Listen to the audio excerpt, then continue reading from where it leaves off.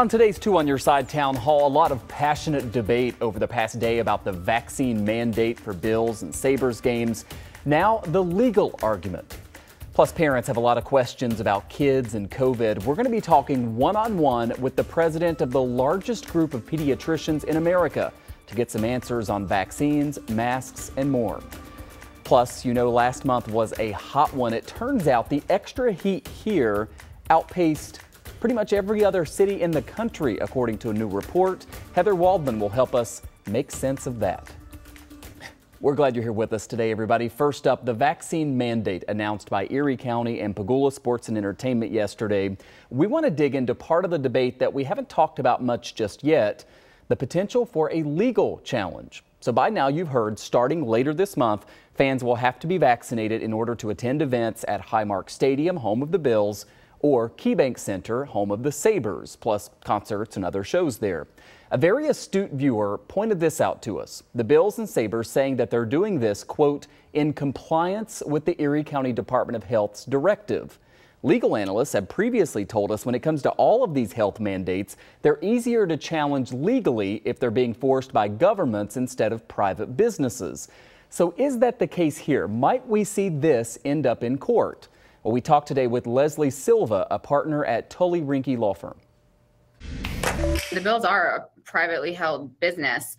Um, they can make decisions on their own they depending on how many employees they have they might be subject to the federal regulations that have come down um, but if they're working in conjunction with the department of health that is a sign that they are really looking to reduce any liability that they could have in the future. I'm not sure who would challenge it. Um, I don't think the fans have any standing. You simply just don't go to the game if you don't like the rules.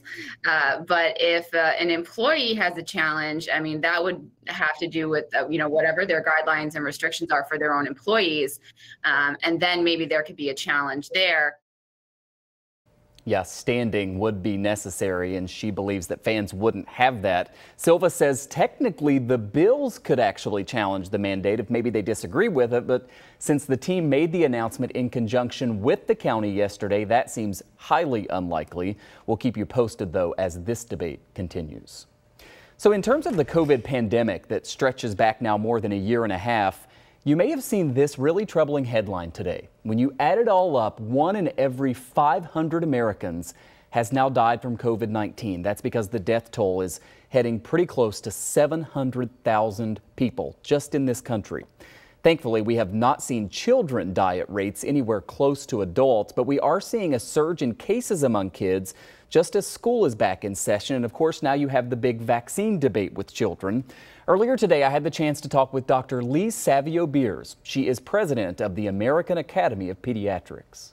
Doctor, it's great to get to talk with you. Unfortunately, we've seen this surge in COVID cases among children. We always keep track of your group's weekly report that you put out, and the most recent one shows almost a quarter million new confirmed cases among kids in just a week's time, and children now make up a much higher percentage of cases than during our previous surges. What is behind this?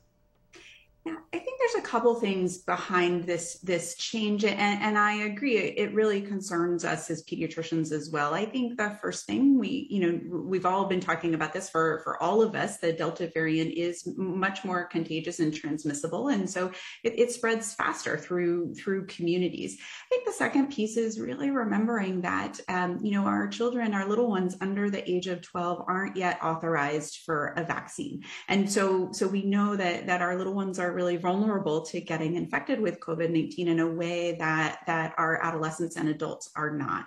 We're also seeing that, that even for our adolescents, ages 12 and up, who are eligible to be vaccinated, um, only about half of them have been. And so we still have lots and lots of teenagers who aren't vaccinated. And when you, you know, you kind of compare this to our older population where we may have higher rates of vaccine, that that tells us that we've got, you know, we've just got more kids who who are are susceptible to to COVID 19 vaccine or to, to, to COVID 19 infection. Yeah, I want to ask you about vaccines for kids. And before we talk about kids 12 and under, who, as you mentioned, aren't yet eligible, I wonder what you would say to parents of children 12 and up who maybe haven't gotten vaccinated yet, perhaps because they think, you know, the younger you are, the more likely you are to survive COVID, not end up in the hospital, maybe not even get sick. For parents who say that it's just not that serious for kids, why bother? What would be your message? First, I would say, you know, first is very, very normal and natural, and and absolutely, as a parent, you should be asking these questions. That's your job to to make sure you understand the health decisions you're making for your kids. I think the second piece is that this is a very safe and effective vaccine. I have two teenagers at home. They've both been vaccinated. Um, you know, it's a very safe and effective vaccine. And, and so I think parents should feel reassured by that I think the last piece is is yes, absolutely, kids are less likely to have severe illness than adults, and that is a great thing. Um, but it doesn't mean that they can't get seriously ill. As you mentioned, over a quarter of a million kids were di- almost a quarter of a million kids were diagnosed with COVID in the last week, and what that means is that is that probably several thousand of those kids are going to end up in the hospital based on what we know of of of complication rates. And so, it, as a parent, for me, I want to make sure that I am I'm taking every measure I can that's safe and effective to prevent my children from potentially getting a serious illness.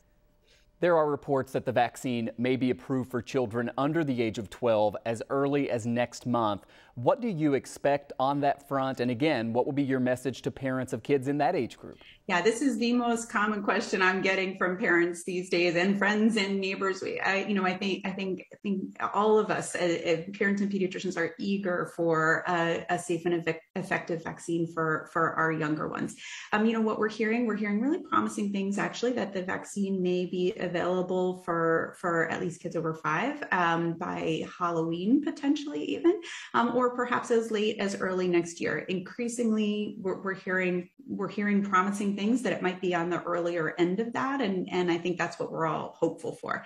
You know, what I would say in the meantime, what I would say to parents is, you know, again, just just remembering we know what we can do. There are things we can do to help keep our kids safe. Um, one of the things is making sure that as much as we can, all the the adolescents and adults around them are vaccinated because if if they're vaccinated, they're less likely to spread COVID to the little ones. I think the other thing is remembering, um, you know, continuing on with the mask wearing, especially in schools or in crowded indoor situations, um, that does really decrease the spread of COVID 19 and can help keep our little ones safe. You know, good hand washing, all those things that we've been doing all along could continue to work and will continue to protect our little ones until we have a vaccine for them.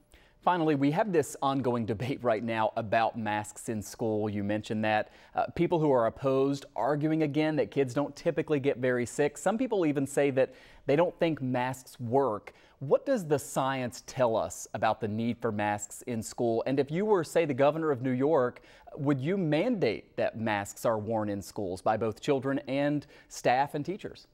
Yeah, you know, so first, the American Academy of Pediatrics recommends universal mask wearing for for children and adults in school settings, um, and that is for a couple reasons. First of all, you know, we we know we know there's really good evidence about this and increasing evidence that masks are are safe.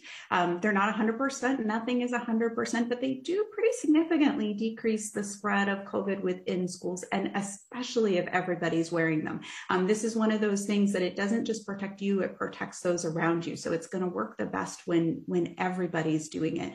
Um, so so that that is is you know another sort of really um, important piece of this. And, and when it comes to sort of why why why should we wear? You know, I, again, I go back to thinking about you know COVID. You know, children thankfully are less likely to have severe illness than adults from COVID nineteen, but they can get very sick. And and I think it's important for us to take whatever simple, safe, and effective measures that we can take to help help keep our kids safe. Um, you know, it's it's a tragedy anytime a child gets gets you know seriously ill, and especially if there are things that we can do that are simple, safe, and effective to prevent that.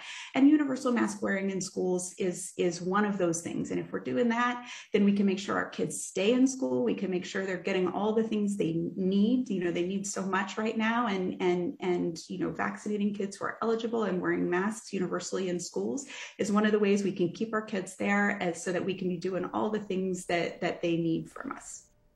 Dr. Lee Savio Beers, president of the American Academy of Pediatrics, really appreciate you taking the time to talk with us. Great, thank you.